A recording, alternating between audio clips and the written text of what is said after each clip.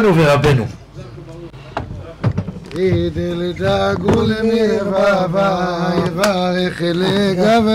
לפני שהרב יתחיל נגיד, יש פה את הספרים הקדושים של הרב, ומי לא צריך שלום בית? אפילו הצדיקים גם צריכים שלום בית, כולם צריכים שלום בית, יש פה עצות גדולות של הרב, ספר קטן 40, ספר גדול 60.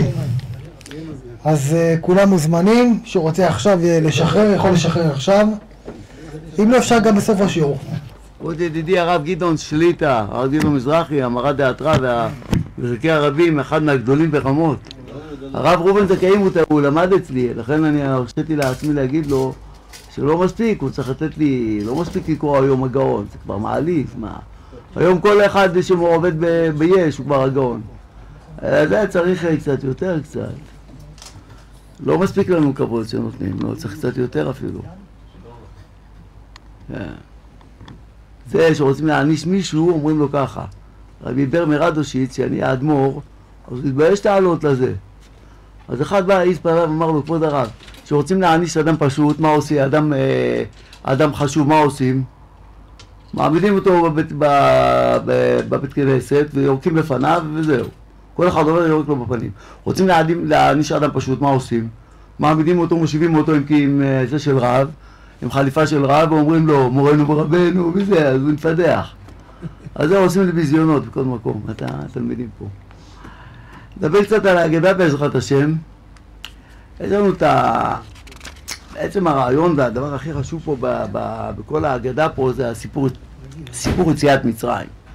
סיפור יציאת מצרים, אה, מצוות עשה מדאורייתא נוהגת גם היום. והגאון חידה כותב שגם אישה צריכה לספר. גם מי שהולכת במצווה צריכה לספר לבנות שלה. והיא שונה לגמרי ממצווה של מזכירים יציאת מצרים בכל יום. כל יום בקריאת שמע מזכירים יציאת מצרים. ובן זומא אומר שה...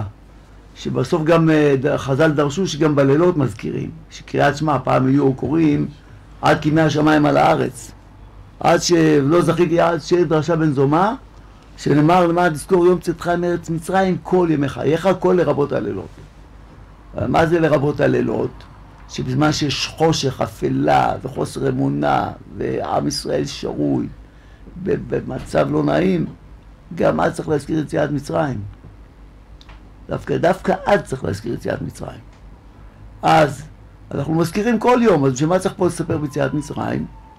אז מסביר, מסבירים המפרשים, בעיקר עומד על זה הרב מבריסק, שיציאת מצרים פירושו, אה, סיפור יציאת מצרים זה צריך להיות בדרך א' של סיפור, בדרך של שאלה ותשובה, וסיפור, כלומר הבן צריך לשאול, אז, אז אם הוא לא שואל צריך לעורר אותו לשאול, ואחר כך צריך להיות בצורה של סיפור, סיפור דברים, שזה יעבור מאבא לבן, סתם ליציאת מצרים, אני ביני לבין עצמי, אני אומר, אני זוכר שיצאתי ממצרים.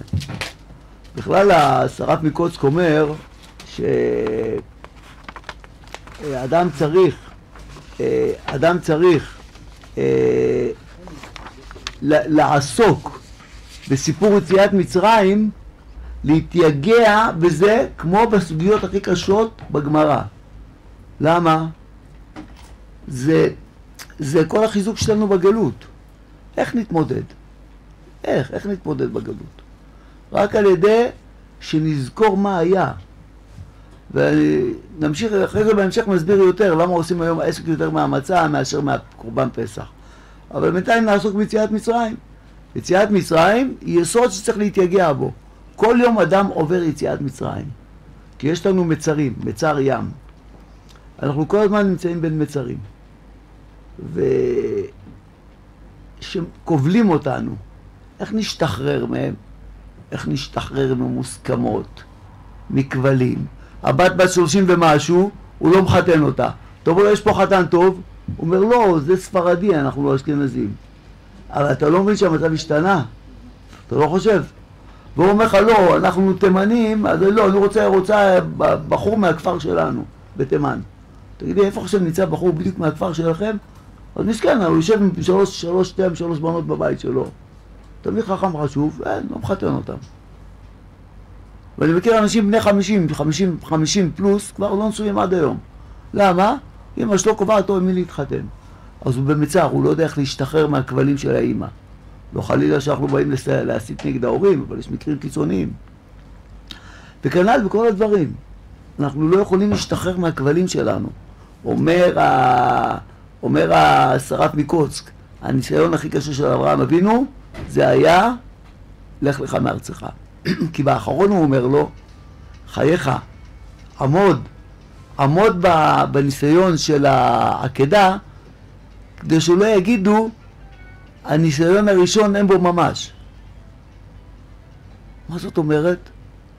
כלומר, העקדה זה כבר כסף קטן, זה שנייה אחת. לך לך מארצך זה כל רגע. צא מהמנטליות שלך, תבין שהעולם, לא כולם כמוך, לא כולם באותו ראש כמו שלך. כל אחד יש דרך התנהלות וסגנון אחר. תתמודד עם כולם. הניסיון הכי קשה זה לך לך מארצך. יציאת מצרים, אומר חנוך הכהן מאלכסנדר, והוצאתי אתכם מתחת סבלות מצרים. מה הפירוש? בני ישראל במצרים סבלו, סבלו את המצרים. התרגלו להיות עם סבלנות, לקבל את זה כמו שזה. כמו העבדים הכושים באפריקה ובאמריקה הצפונית, הדרומית, סליחה, ששם היה, העבדים היה שם, כמו היה שם, הוציאה סופרת אה, אמריקאית ספר אה, בשם דוד, האוהל הדוד תום. דהיינו, מתארת שם איך היו הזה. היא לא חשבה שזה יהיה רב מכר, היא רצתה שמישהו יוציא לה את זה בעיתון. בסוף היא התפרסמה, אריאט אה, ביצ'ר סטו קוראים לה.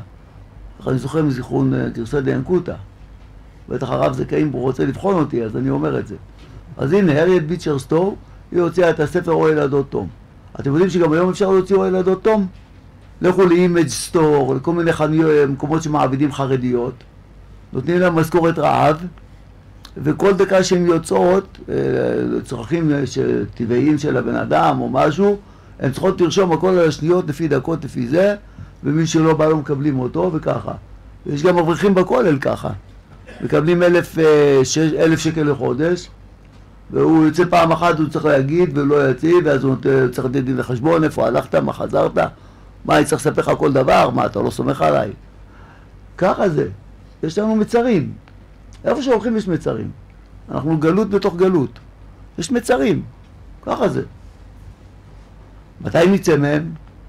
הם סבלו את המצרים, אומר הרב חנוך הכהן. הם סבלו אותם, הם יכלו לסבול והם התרגלו, עד שהשלימו עם מצבם. עזוב אותי, טוב לי ככה, אל תוציא אותי מפה.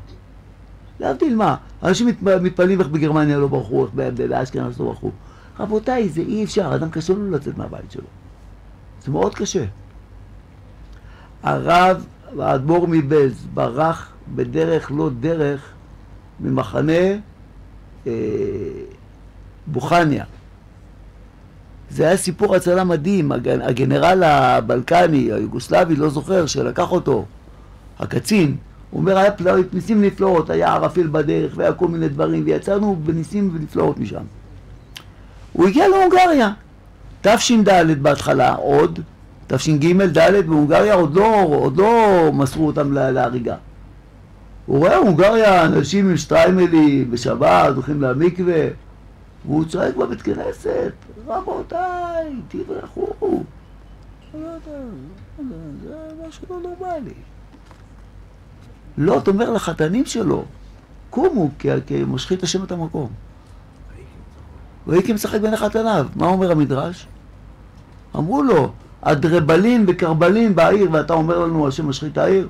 שמע את הקניונים, את המוכרים, את הצעקות, אה, פלאפל בחמש שקל, זה וזה, זה וזה, כל אחד מכריז על מרכולתו, והתזמורת מנגנת, וכולם יושבים בזה. מה אתה מבלבל בראש? כך הוא היה ככה, היה משחק כשהלך להונגריה. הוא ברח משם, ברח מהר משם, ברח לטורקיה, מטורקיה בא לזה, ללבנון, בלבנון הגיע לראש הנקרה, נכנס לארץ. אז הוא היה משחק. אנחנו לא מאמינים, אנחנו משלימים. ככה ישראל השלימו במצרים את מר גורלם. היה צריך לעורר להם את הנקודה. אחרי שעוררו אותם, שמלך מלך, מת מלך מצרים וחשבו שיבוא מלך יותר גרוע, התחילו להיאנח, הם הבינו את מצבם. כשאדם מבין את מצבו, אפשר להושיע אותו. אם הוא לא מבין, אין עם מי לדבר. זה היה המצב שלהם. ברוך אתה אדוני אלוהינו מלך העולם, שהכל נהיה בדברו.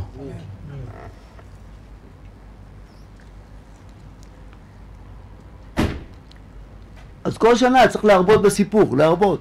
עכשיו, איך נעורר את הילד לשאול שאלות? אז עושים שינויים.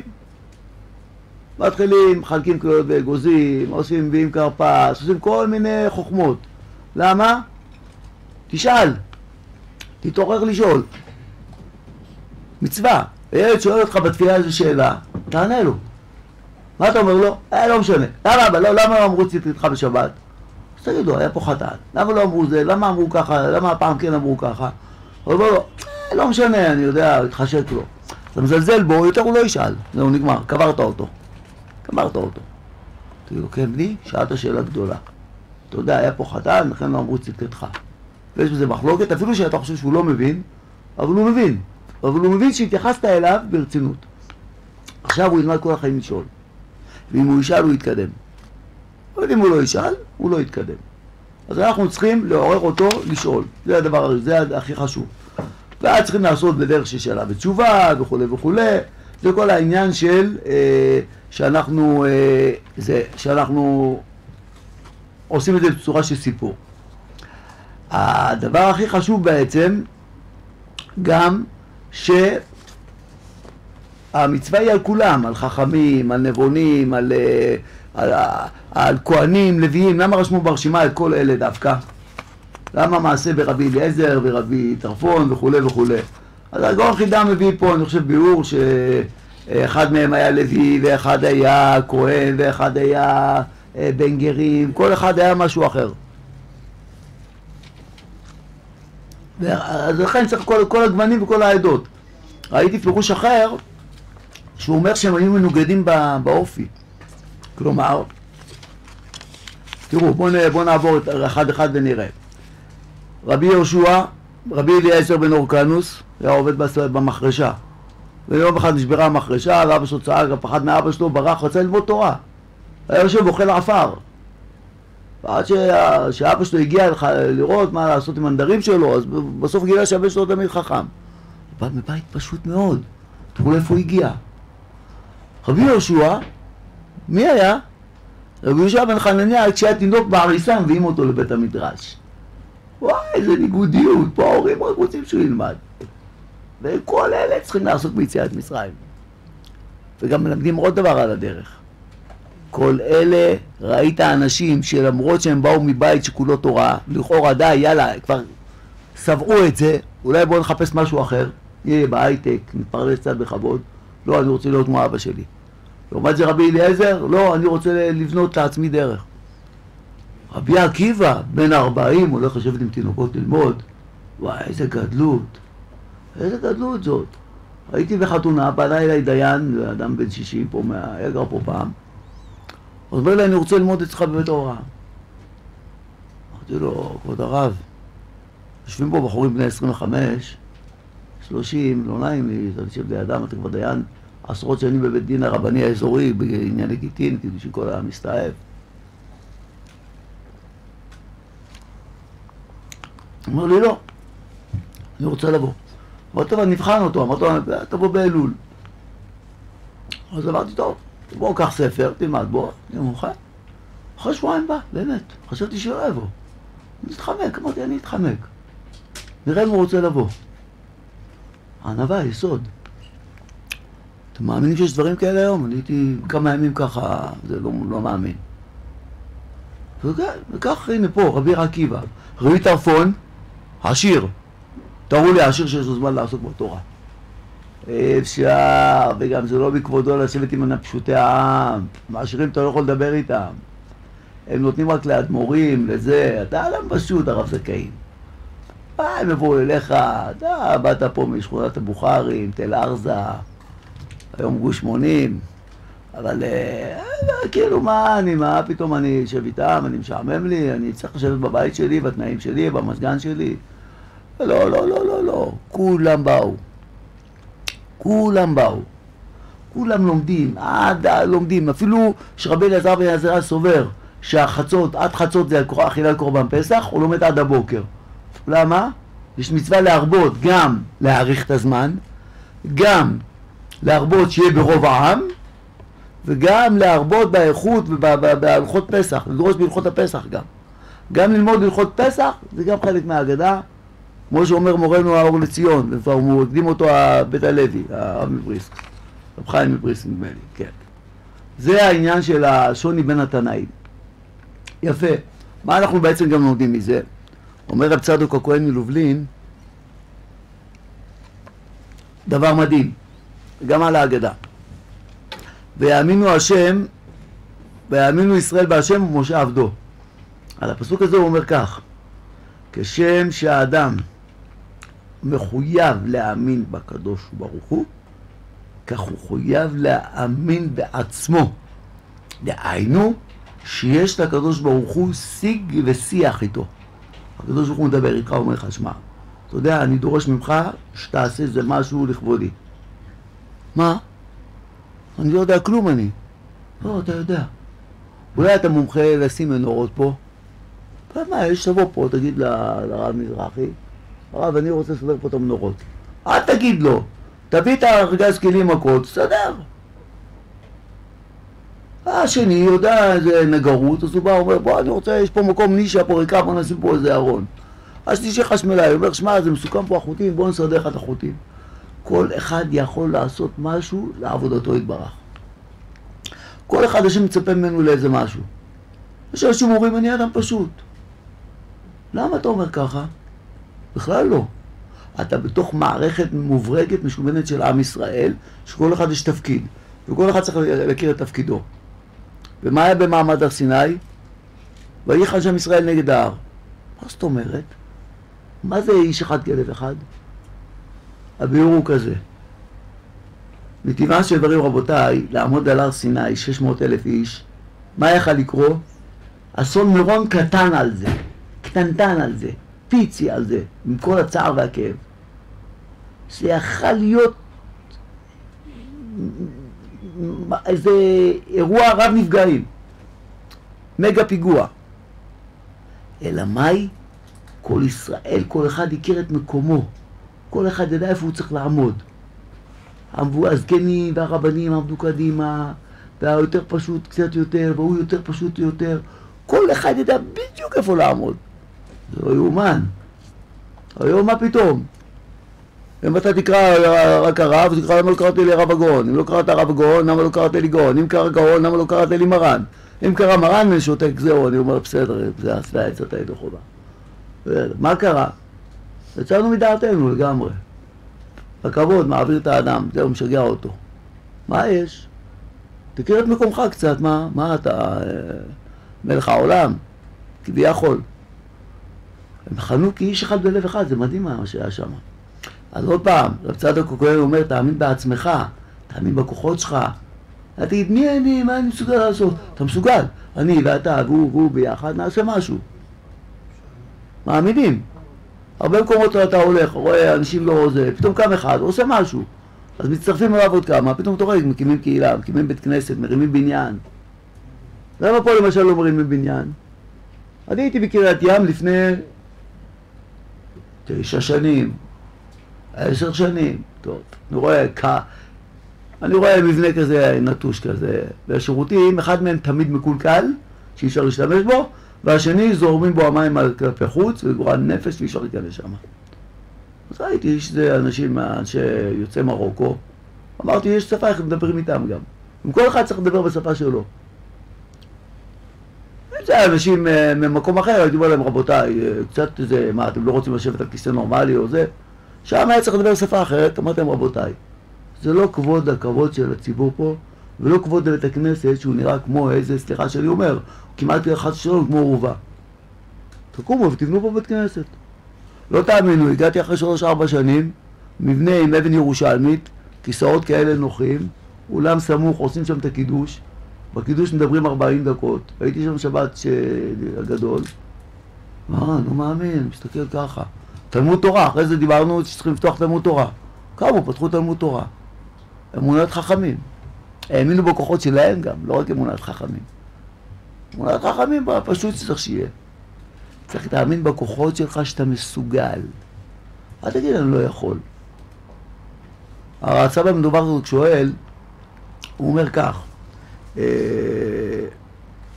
אומר, הלל מחייב את העניים, שהוא הרוויח שתי פרוטות ביום ופרוטה נתן לשומר.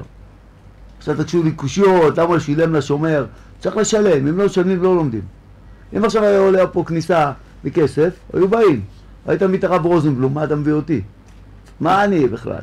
תמיד הדרשן ככה, אני יודע לדבר ככה, אני צועק על אנשים רק כל הזמן ושורף אותם בעל פי. אה, תביא אחד ככה יותר מרתק. הוא היה עשר שקל, אז הוא משלמים, אז הוא באים, מעריכים את זה. ככה לא באים, זה עולה חינם, אז לא באים. אז היה צריך לשלם, לשילם. אחר כך אתה מביא יוסף את הרשעים היפה תואר, ומי זה רבי... רבי אליעזר וחסמה שמחייב את העשירים. אומר הסבא בנו ברדוק, מי יחייב את האדם הבינוני?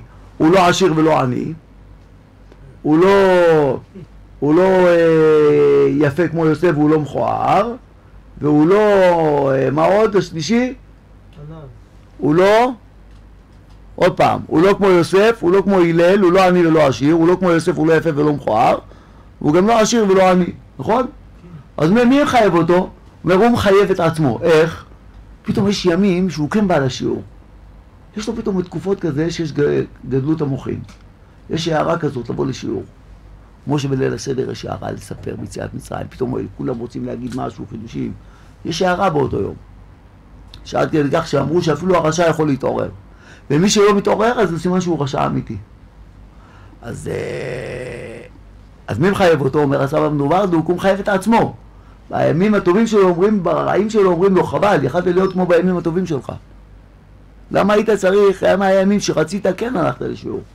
ופתאום, יום אחד, קצת מישהו הרגיז אותך, דרך עלי הבלות, אשתך עצבנה אותך, יאללה, טוב. דבר ראשון, זורקים את התפילין לים. דבר ראשון, לא לבוא לשיעור. למה? תבוא. טוב.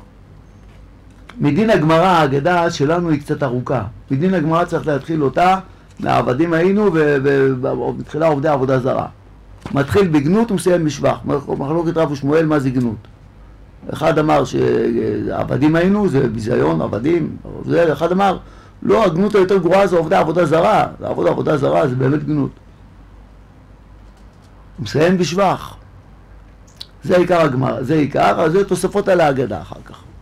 יש תוספות מקדימה, יש תוספות בסוף. גם בסוף, מה שאומרים דיינו וכל הזה, רבי יוסי הגלילי, כל זה גם תוספות. העיקר זה אמצע ההגדה והסוף, אה, הרבן גמליאל אומר, כל שלא לא אמר שלושה דברים בפסח לא יצא ידי חובתו. אבל כל השאר זה תוספות, כל זה אנחנו אומרים אותם, כי צריכים להרבות לסיפור יציאת מצרים. וזה מנהג של קהילות קדושות, אז אומרים. עכשיו, מתחיל בגנות ומסיים בשבח, מה אנחנו לומדים? מה זה בא ללמד אותי? א', קודם תודה, תראה איפה היית, למה הגעת, זה מחייב אותך גם לעבוד את הבורא יתברך כראוי. כי תראה איפה היית ואיפה שמו אותך. אולי תעריך, אולי תגיד תודה רבה, מגיע, לא. דבר שני, גם כשאתה במצבים קשים, אל תתייאש. הנה, תזכור, עבדים היינו, עובדי עבודה זרה, אל תתייאש. אדם שמתייאש ולא מאמין שיש תשובה, זה הכי גרוע שיכול להיות. לכל אדם יש תשובה, על העבירות הכי חמורות יש תשובה, אם באמת הוא רוצה לחזור בתשובה. ויש אומרים גם שבפסח זה הזמן לישועה. איך אמר לו, בתרגום שם כתוב שיעקב אמר, אה, יצחק אמר לעשו, מי בלילה הזה אורות עליונים וטלים, טלי ברכה, עניינים גבוהים, אפילו עשו הבין שהוא יכול להתעלות ובכה. אז בלילה הזה אפשר להיוושע בכל. בני, חיי וגם על תורה, לבקש ריבונו של עולם, האר עיניי בתורתך. בלילה הזה אפשר להיוושע בכל. וגם בכל ימי הפסח, יש הערה של זה. זה הזמנים שאפשר להיוושע. בלילה הזה הרבה אנשים נושעו, בזכות התעוררות שהייתה להם. זה ליל הפסח. עכשיו, בא אנחנו מודים על הבנים, אומרים ברוך המקום ברוך הוא, ברוך שנתן תורה לעמו ישראל, כנגד ארבעה בנים דיברה התורה. למה צריכים לברך את השם יתברך? אלא, כיוון שהבנים לא דומים בטבעם אחד לשני. כל אחד והטבע שלו, אם כל אחד צריך להתנהל אחרת. זה יש לו נפש רכה. אסור לו, אתה, כל מילה שאתה אומר לו, אתה מוריד לו את הביטחון העצמי. השני, עז, עז, עז, אם לא תצעק עליו, הוא לא יבוא לו בתורה. אתה צריך להגיד לו שהוא עז, שהוא ליצן, שהוא ככה, רק אז הוא יבוא. אבל יש אחד עדין, עדין, עדין, אסור להגיד לו מילה אחת וחצי מילה. אז כל אחד צריך להתנהל איתו. מה היינו עושים אם לא היה לנו תורה? איך היינו מתנהלים? לא יודעים. צריכים לדעת להתנהל עם כל אחד לפי שכלו, לפי הבנתו, לפי טבעו. יש אחד צריך קצת יותר צעקות, יש אחד צריך קצת יותר בעדינות. הרש"ר עיר שומר, גם פה תקף הכלל, שמאל דוחה, יצר תינוק באישה, אה, שמאל דוחה וימין מקרבת. אומר, אתה לא תוכל להשתלט בכוח בפקודות. לא על ילד, כי יש לו טבע. הוא לא יכול לעמוד במה שאתה אומר. אבל בסוף הוא לא, הוא לא יסכים לזה, הוא, הוא יפרוק עול ממך. והאישה, הוא אומר, בסוף הרש"ר עיר שומר, היא תתקומם ובסוף היא תנצח. לרוב זה מסתיים בניצחון של האישה. זה לא כמו כדורגל שאתה לא יכול לדעת, יהיה הפתעות של הרגע האחרון. אין. יש הפתעות גם, תמיד יש הפתעות בחיים. אבל שם בזה אין הפתעות, האישה תמיד תנצח בסוף.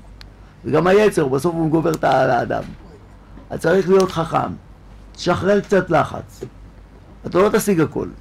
אם תסתום למישהו את הפה, אתה לא תצליח בזה. תשחרר. שחרר קיטור. תדע להיות חכם. זה לא שאתה, זה תכסיס עורמה. באמת, השילוב של השמאל דוחה והימין מקרבת זה מה שמצליח. צריך שגם מצד אחד קצת, קצת אה, זה, לאפס, שהוא מגזים דברים קיצוניים, וזה צריך לעשות, את ה stop, את הברקס, אבל רק על דברים קטנים להעיר, לא על, לא על השוליים.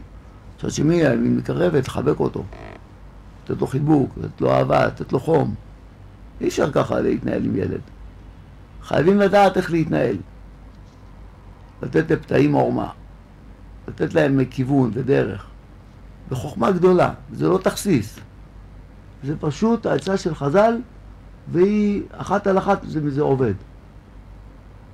וכך צריך לעשות איתם.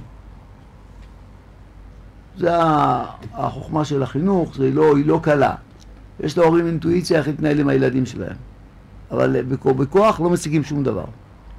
שום דבר, משיגים בדיוק את ההפך הגמור. אתה תעלים מהילד דברים, בסוף הוא יצא לרחוב ויראה אותם. אתה לא יכול להגיד לו, לא הולכים לסבתא הזאת, כי שם חילונים. אדוני, הוא צריך יום אחד הוא יראה חילונים, אז מה יקרה? שנייה אחת הם יסובבו אותו, יעשו אותו חילוני כמוהם. תלמד אותו, יש כאלה חילונים, שמע, הם לא, הם לא, הם לא זה, הם לא גדלו בבית כמו שאתה גדלת. הם ככה חיים, צריך להתפלל שיחזרו בתשובה. אתה לא צריך להיבהל מהם, אין להם הרבה, אין להם שום דבר. חוץ מהרגילים וקוקו אין להם כלום. אה, מה יש להם? היום 80% מתושבי תל אביב, אתם יודעים שהם בעיה, הם להט"בים. 80%, ככה אומרים החילונים. לא אני אומר את זה. החילוני אחד אמר לי את זה. אמר לי, שמע, 80% מהם ככה. יש להם שוויון זכויות ביניהם לבין הכלבים. למה? הכלבים שם כולם מסורסים. כדי שלא יפרו וירבו. שלא יתנפלו על, הנקבות, מסרסים אותם. אנשים מתקשרים אליי לשאול אותי, מותר לסרס? כל הזמן שאלה, כל הזמן מצויה. גם את הנקבות, גם את הזכרים מסרסים. אז זה ככה, אותו דבר, גם הם חיים בצורה כזאת. והם ההורה מספר 1, הורה מספר 2, כדי שבדור הבא יהיה עבודה לפסיכולוגים ופסיכיאטרים. אז אין מה לעשות, זה המציאות, אתה צריך להגיד לו שיש דבר כזה, שהוא ידע. אתה לא תוכל להסתיר את זה ממנו לאורך זמן. צריך להגיד לו שיש דבר כזה, וצריך ללמוד לחיות עם זה. הולכים לסבא וסבתא, יש כללי התנהגות, אז את זה אוכלים, את זה לא, תהיה את הכל בצורה חכמה, לא פוגעים ולא מעליבים באף, לא מעליבים אף אחד. אי אפשר להעליב. זה לא יעבוד. כל אחד צריך את ההתנהלות איתו. זה הבנים. כל אחד והצורה שלו. החכם, הזה, החכם, תשב, תלמד איתו. הרשע, אתה צריך לדעת איך להיות איתו. תראה לו שאתה שמח בעבודת השם, זה ישבור אותו לבד, הוא יישבר. וכן הלאה. כל בן, לפי ההתנהלות שלו, אנחנו צריכים להתנהל איתו. ומתי אנחנו עושים את זה? לא מראש חודש, לא מבעוד יום. מה יש? ראש חודש כבר אה, הכריז על, על, על עניין של לה, לה, להכין את הקורבן, על הפרשה. שבועיים לפני פסח לומדים הלכות פסח, כבר מפורים לומדים. אה, מבעוד יום שוחטים קורבן פסח. לא, לא, לא. בשעה שמצה ומרור מונחים לפניך. שעה שיש מצה, יש מרירות ויש מצה. יש מצה ומרור. יש מצב מריבה, יש לילה, חושך, לא מאיר לך, לא כלום. אתה ממשיך לעבוד השם יתברך. כמו שאמר הרב פה לפניי. שגם כשקשה לך, אתה עובד את השם ואת הקדוש ברוך הוא בשמחה. בלי דוגמה אישית, כל מה שתגידו בבית לא יעלה ולא יוריד, רק יזיק. כי הבן מבין, הנה, הבן מבין איך ש... בשכל שלו. כי אומרים שפעם היו שתי ילדים שובבים, שתי ילדים. אחד היה יושב ליד אבא שלו, כל התפילה, אבא שלו צועק עליו, שב, תענה, אל תצא החוצה. ואם הוא לא עונה, מה הוא עושה לו? ווש בנין, תן לו איזה סטירה אחת, ווש. אה, אתם לא מבינים, אתם לא גרים בקריית גת, ולא בעד באשקלון. אז צריכים להכיר, יש מנטליות אחרת קצת. אבל השני לעומת זה, הבן, הבן, הבן השני, כל, כל הסילה היה משתולל, מצורל, ואבא שלו לא מדבר מילה, אבא שלו תמיד חכם לא מדבר מילה. אחרי שנים נהיה המצב הפוך. זה שהיה משתולל התחיל להתפלל, זה שהיה עומד ליד אבא שלו ומפחד התחיל להשתולל. מה קרה? הוא אמר, פשוט, תשובה פשוטה. זה שאבא שלו צעק עליו, הוא היה בעצמו מדבר באמצע התפילה עם כולם, מה קרה, מי, המור, מי המספר 60 עכשיו שירד ויהיה 59, מי יהיה ככה, מי קרה ככה, מה יהיה ככה, מה יהיה לא ככה. הריבית במשק עלתה, מה זה אומר, מה זה לא אומר, מה פירוש רש"י, מה פירוש תוספות, מה פירוש זה. אז הוא רואה ככה, אז הוא אומר, הוא מבין ככה. לגדולים לא צריכים להתפלל, רק הקטנים. אז שהוא התפלל שהוא קטן, עכשיו הוא אמר, בבר מצווה הוא אמר, עכשיו אני גדול, אני פראי כמו אבא שלי. השני הבין שגדולים מתפללים וילדים הם צריכים לעשות סגריות ולשחק בחוץ וזה, ומדי פעם להיכנס. אז אחרי זה שהוא גדל, הוא אמר די, עכשיו אני גדול, אני צריך לי זה, אני צריך להתפלל, צריך להתפלל. זה העניין של החינוך. יפה.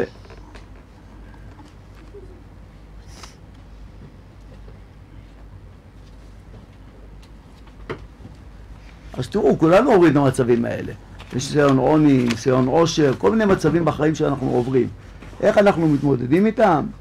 זה אנחנו צריכים להיות, uh, בכל, מצב ש... בכל מצב שאנחנו חיים, אנחנו צריכים, uh, אנחנו צריכים ללמוד uh, לעבוד השם יתברך באותו מידה. גם שקשה. איך סיפר לי אחד, במלחמת ששת הימים, הוא אומר, היה פצצות במחנה יהודה, הלכנו לתפילה בנצח חמה. אתה זוכר שהוא סיפר לנו? דוד שלי, שיהיה בריא. לא בנצח חמה, הלכנו בפצצות שם, הכל. הוא אומר, לא מעניין, נצח חמה, צריך להתפלל. תמימות, תמימות כזאת, אבל זה הניסיון. זה אדם שבחיים שלו לא יחסיר תפילה. הוא היה מפסיד באמצע העבודה, שהיה עובד בבוקר ב- בירקות, עכשיו זו שעה הכי בוערת, זה הפסד כספי, אין, תפילה. עכשיו תפילה אצלו, זימי ותתפלל חנה, הכל לאט. אין, לא מעניין אותו, הוא מונה את המילים כמרגליות. פעם אחת הלך לשטיבלח באיזה עיר, לא משנה איפה, בשטיבלח, ערבית שם שבע דקות, אני התפללתי שם. ערבית שבע דקות. אפילו בבקו"ם זה קצת יותר. בבקו"ם זה שמונה דקות, ערבית. שם זה היה שבע דקות. בבקו"ם במנחה זה כמה דקות? שמונה. לא נכון, בבקו"ם היו עושים בלי חזרה, היו עושים מנחה מקוצרת, אז לא היית בבקו"ם הרבה זמן. מנחה מקוצרת, אז היה שרע אשרי, אשרי, אשרי. כן, שמונה, תשע דקות גג, לא עובר את העשר. אז אמרו לו אחד מהם שם, כמונה מרגליות, אמר לו שכל, היית פעם בבנק, ראית איזה מהירות הוא אוסף, הוא סופר. אני גם כמונה מרגליות, רק אני יודע לספור מהר, מה, אתה לא יודע לספור, מה אני אעשה לך? אני התפללתי שם בשלוש מניינים ששבוע הקדיש תתקבל בשטיבלח שם, המרכזי בחיפה.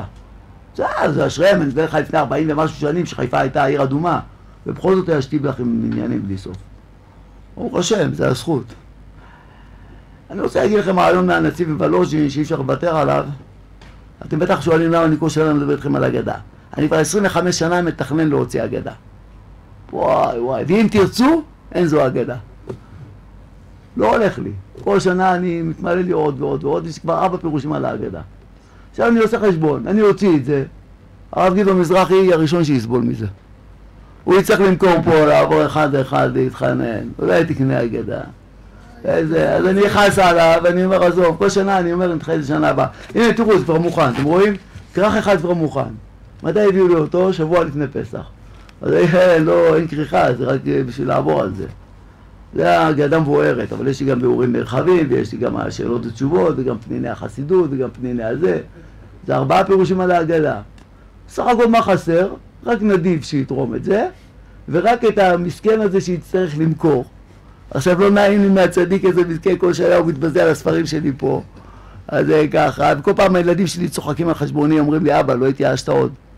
כל פעם אתה הולך עם ארבע קרטונים של ספרים, ואתה חוזר עם שלוש קרטונים פסיק תשע. אתה לא מתייאש? אמר להם, לא, לא מתייאש, מכרתי אחד, איך אומרים? צדתי צבי אחד, גם טוב. רבי צבי, רבי... מה? יש להם, יש להם אולי. יש להם. אז קודם כל צריכים לתת לילדים, לכל אחד אחד לחלק להם לפסח. קודם לקנות, להביא להם כל מיני ממתקים ושטויות, דברים כאלה. למבוגרים גם צריך לתת משהו. אני, הנכד שלי בא עזר לי, הבאתי לו אגדה של הנציב בלוז'ין. מתנה. למה שאני לו כסף ויבזבז אותו על שווארמה? תעזוב אותי, שווארמה שיקנה מכספים של מישהו אחר. אני רוצה לתת לו אגדה. שישב וילמד. תראו מה זה נציב מבלוז'ין. הוא אומר ככה, במשנה מובא שאכילת המצה באה על שום שגאל הקדוש ברוך הוא את אבותינו. אז משמע שזה כמו קורבן תודה. טעון שלוש לחם מצות ועוד אה, לחם אחד חמץ. ארבעים אה, חלות. אז כמו שכתב הראש, לכן עושים שלוש מצות מעיסרון אחד. זכר ללחמי תודה. יפה מאוד. שיוצא מבית האסורים, מביא קורבן תודה ולחמי תודה. יפה מאוד. המגיד אומר טעם אחר. השם שלו פסיקם של אבותינו להחמיץ. מה קורה פה? מה פשע הסתירה? אז הוא אומר, אה, הגמרא בפסחים אומרת, אה, לחם עוני, קורא לה מצה לחם עוני. דורש, דורש שם שמואל, אה, אמר שזה, לחם שעונים עליו דברים הרבה. פירש רש"י, אומרים עליו הלל והאגדה. לכאורה מה אתה לומד את זה? כתוב בפירוש, בעבור זה. לא אמרתי אלא בשעה שמצא ומרור ומונחים לפניך, אז תגיד את האגדה. אז מה זה לכם שעונים עליו דברים הרבה? מה הוספת לנו על הפסוק? אז הוא אומר, המגיע, הוא מסביר מהלך מדהים. הוא אומר, יש חילוק בסיפור יציאת מצרים בין זמן שבית המקדש קיים לבין זמננו. בזמן בית המקדש כולם חיו בארץ ישראל.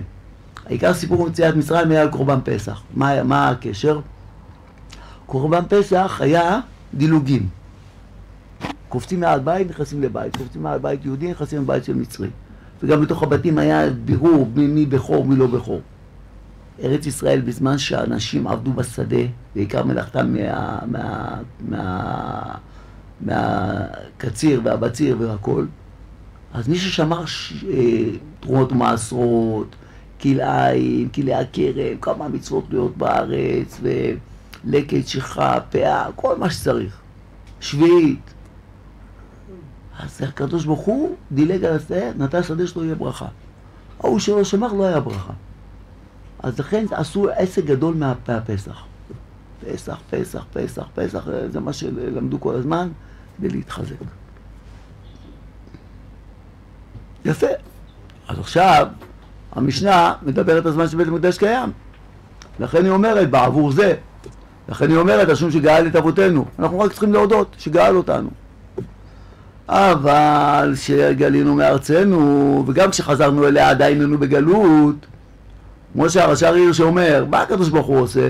מוציא, הוציא אותם, אחרי פחות 70 שנה החזיר אותם, בחן אותם, ראה שהם לא בשלים, עוד פעם הארץ מקיאה אותם. זה רש"ר הירש מדהים. הוא אומר, כל זמן, כל פעם הקדוש ברוך הוא מנסה להחזיר אותנו, ואם אנחנו לא בסדר, מקיאים. וזה תופעת היורדים. כל דור ודור היו יורדים, גם בדור שלנו וגם בדורות ההם. לא, לא, הולך אז עוד פעם גלות, או גלות בכוח או גלות מהרצון. ברלין מפוצצת ביהודים. לפני שנים אמרו שיש שם 40 אלף יהודים, היום לך תדע כמה. חלם שפעם יחזרו לברלין? אז בקיצור, לפעמים יש זמנים שישראל לא בארץ. מה עכשיו המצב? אין עבודת קרקע, אין כלום. אז מה, מה, ממה עושים העסק? מהמצה. מה הייתה המצה? זכר לעבדות וזכר לגויים שעומדים לך על הראש, וכל שנייה הם יכולים לגמור אותך. ואתה כל שנייה אומר, מתי כבר נצא ממנו? והמצה זה העניין שבשנייה אחת הם נגאלו. יפה. שמה ההשגחה באה לידי ביטוי יותר בהכרה שיש בורא העולם שבשנייה יכול להפוך ולהוציא אותך מעבדות לחירות. ושם היה, אז לכן משרישים יותר את העניין של החיפזון, שלא ישכחו באמת את שער הטומאה. חיפזון במצרים, שפחדו מהקדוש, מאלוהי ישראל, ומהר, תצאו כבר, תצאו, תצאו, אל תחכו עד הבוקר. חיפזון בישראל שפחדו שמהמצרים ייקחו להם את הכסף. חבל, עד שהוצאנו מהם כסף, לא כדאי. גם, גם היום היהודים מפחדים, מפחדים, תמיד מפחדים. בחוץ לארץ היו צריכים להבריח, לעשות כל מיני עבודות, לעשות כל מיני דברים מסוכנים, והיו מפחדים כל רגע. והחיפזון דשכינה, שלא ישקעו בהם לתת שערי טומאה. אז לכן, אנחנו עושים היום עסק גדול מהמצב. אז עכשיו הכל מסתדר.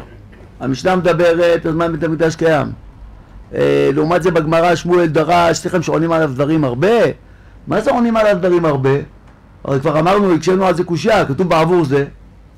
הוא אומר, לא, עונים עליו דברים הרבה, לא הכוונה הרבה דברים. זה הרי ברור שמדובר פה רק על ההלל והאגדה, מה עונים עליו? אז זה כבר כתוב, בעבור זה, מצה ומרור וכולי. אז, אז מה, מה זה עונים עליו דברים הרבה? עושים ממנו עסק. זה הביאור, לפי הנציב. וגם ערוך השולחן, שהוא אגדה על ליל שימורים. אז הוא גם כותב, את הרע, הוא גם כותב, הוא מחזק את הרעיון הזה, והיה קשר גדול ביניהם, בין הנציב לו. כי הבן של הנציב, התורה התמימה למד אצל, אצל הבן של ערוך השולחן, התורה התמימה למד אצל הנציב ולוז'ין.